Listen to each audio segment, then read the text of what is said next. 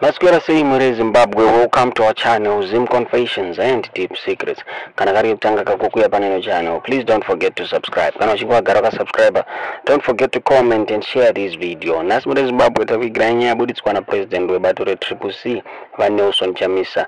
Uh, vanelson chamisa vabuda zvakare ne mabible verse avo vakote bible verse patwitter muzuva ranhasi izvo zvaita kuti mazimbabweans afloke eh, mucomment section achitaura achiti aiwa eh, vaneta nawo mabible verses aya eh, vachiti president chamisa ngavaite plan. So pane munhu uh, vamwe vakomenda vachitaura vachiti ko president muchiriko here vamwewo ndo vachitaura vachiti aiwa president chamisa tiitirewo plan uh, vanhu vari kungomirira kuti triple c masapota triple c ari kungomirira kuti maybe bato retriple c rine zvarichaita asi triple c sinzezefu yakangomirira.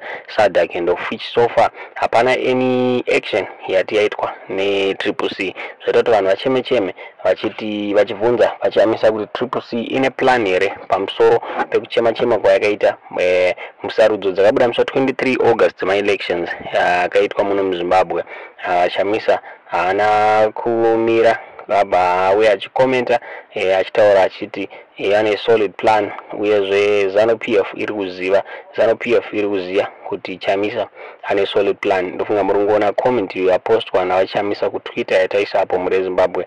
Vachitaura vachitwa neplan plan. Hatisi kuziva kuti plan yavo yakamira sei? Hatisi kuziva kuti icharivhilwa here plan yavo asi masupporters etriple c ari kuchema chema achiti akamirira kuti aziva kuti plan, yacho ndechi mure zimbabwe. Ndo nyaya yatatakuigirai muzuva ranhasi tudze zvamuri kufunga pamusoro penyaya yemucomment section kuti zveshuwa triple c ine any plan here pamusoro pezvairi kutaura kana kuti zvakatopera e, yakaaccepta defeat mumaelections akaitwa. Tudze zvamuri kufunga pamusoro penyaya yemucomment section